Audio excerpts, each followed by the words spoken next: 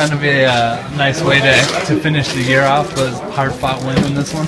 Yeah, absolutely. I mean, that's what we talked about lately. That every game is going to be so much tighter and, and uh, hard, more hard fought. So I think uh, tonight was definitely uh, hard fought, especially the first two periods and then the third. Uh, our power play definitely came through. Can you talk about how important it was to, to not give up after that first goal and just fight back?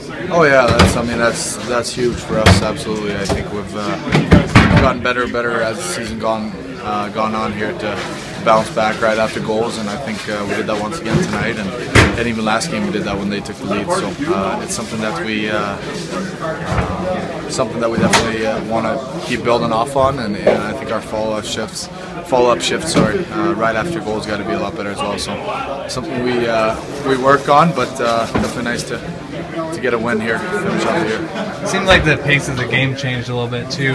There's a big hit by Jan big hit by uh, Foligno, I think, and then you know, obviously you had a couple big hits, but just the whole pace of the game seemed to change there. Yeah, no, I mean it's uh, it was a physical game, and, and just the way we like it. I think uh, it's something that, uh, like I said, uh, as the season progresses, I think it's going to be more and more physical, and and uh, we want to make sure we're we're on top of that. Thanks. Thank you.